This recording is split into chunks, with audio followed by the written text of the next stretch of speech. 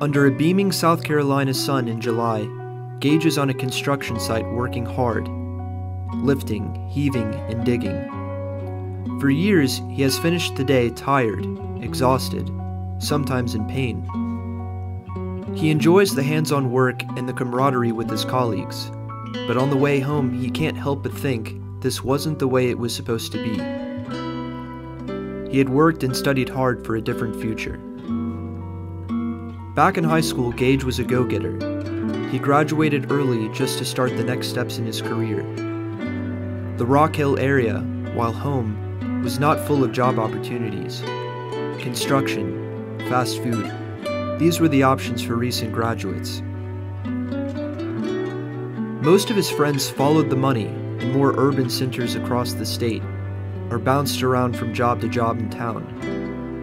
Some took out massive student loans to attend university, and many of them ultimately returned home in debt, working alongside Gage at the job site. After touring a local technical college and learning about coding, Gage pursued an associate's degree in machine tool operating. Gage was successful. He worked and studied hard. He forged close ties to his professors, who told him stories of their experiences working with big machines, gas turbines. Gage was fascinated. He dreamed of following in their footsteps and applying everything he had learned in the workplace. But when he completed his degree, he didn't have the work experience that companies were looking for. And as a result, employers only offered minimum wage and virtually no employee benefits. With little chance of upward mobility and second rate wages, Gage started working construction to bring in more money. He had to leave his dreams of coding and machine work behind just to make a living. But a new opportunity was on the horizon, something that would turn everything around. At Thanksgiving that year, Gage's uncle mentioned an open house event the following week.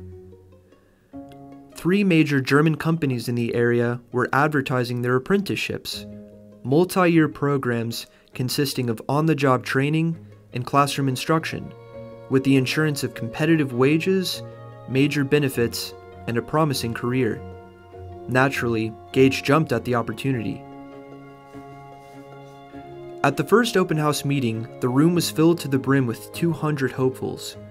But he was determined. He firmly shook hands, looked his future boss in the eye, clearly stated his goals with confidence, and conveyed a strong work ethic.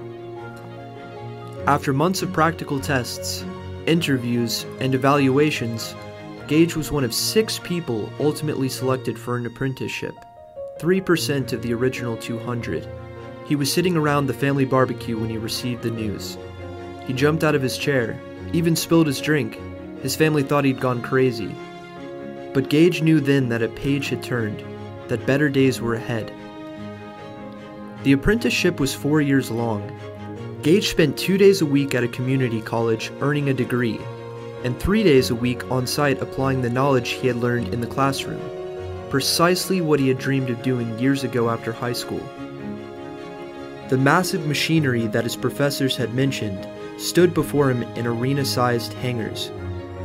He moved from one machine to the next with ease, learning the ins and outs of each. Every step of the way, Gage had mentors looking over his shoulder, providing the tools and knowledge he needed to be successful at his job. Gage's closest mentor, Kevin, a second generation machinist, was keen on taking Gage under his wing. They became close colleagues, and eventually friends over the years, and Gage continues to use the knowledge he gained from Kevin every day. The roles and responsibilities offered during the apprenticeship were cutting edge, nothing like the manual labor in the summer heat years ago.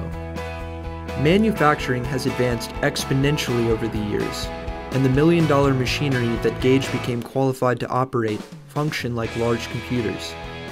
He learned to write code and operated these colossal machines from a laptop nearby. These are the jobs of the future. By the time he completed the four year long apprenticeship program, Gage walked away with not one, not two, but three associate degrees and various certifications that are universally recognized.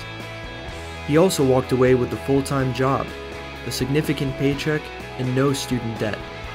Although Gage is more than loyal to the company that invested and believed in him, he knows that no matter what happens, he has the qualifications and experience he needs to be successful in his career. But looking back, what if that Thanksgiving dinner had never taken place? For Gage, it's hard to imagine. It took a random conversation, a coincidental chat, to set him on this path. Looking back at high school, he wishes that guidance counselors and teachers had introduced him to apprenticeships. It just wasn't on anyone's radar. It felt like university or bust. He realized much later that his apprenticeship program was a German model exported to the United States, and that in Germany, he could have started the program at a much younger age. Today, he is a strong advocate for expanding apprenticeships in the United States and spreading the word to middle and high school students about the doors that they can open. As an apprentice, Gage became qualified in the jobs of the future, received a competitive paycheck, earned college degrees, and built a solid foundation for career advancement at a company that believed in him. In his words, it was the turning point that changed his life for the better.